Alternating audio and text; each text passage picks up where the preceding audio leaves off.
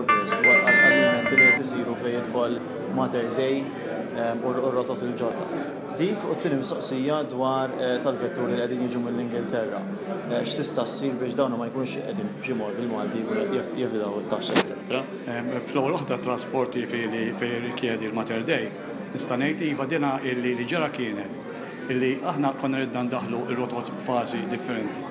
Iċ-ċirkostanzi li ġraw ħabba disputes kemm il-union ġietna opportuna biex indaħħluhom, kellna ndaħħluhom f'daqqa u dan jfisser illi jekk fejn qabel kienu jiħdu l-isptar 34 karozza, riedu jiħdu 49 karozza. Qed ma tista' tgħid jiġri. Allura hija ħalqetilna problema iva jifieri allura ridna naraw illi għax l-isptar kienet tkun hemm konġestjoni, temporanjament nidna illi aħna nagħtu servizz xorta ma sakemm nirranġaw. Fil-fatt iva illi dina se tiġi solvuta dalwaqt.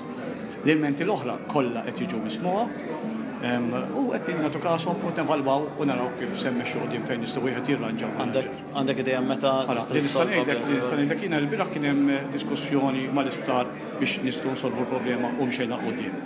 Kelli laqgħa wkoll flimkien mat-trasport mal-operatur il-bieraħ biex kemm jista' jkun nagħtuha m'għandhomx ukoll. Ġifieri mixi, ġifieri mhux sempliċement nisimgħu biss, imma nitkellmu l-operatur biex immexxu insolvu ċertu affarijiet illi qedtlek ġew fuqna ħabba il-kwistjonijiet.